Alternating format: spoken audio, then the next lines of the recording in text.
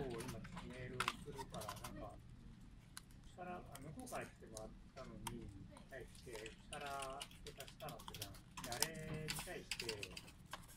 田中さんがなんか取り扱い可能かどうかみたいなのをてもらって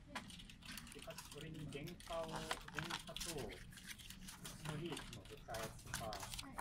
ケアの手数とかいろいろ載せてどういう計算になるかっていうのを入れたやつをちょっと送るんで。内容の確認だけ、なかなり絞られてる。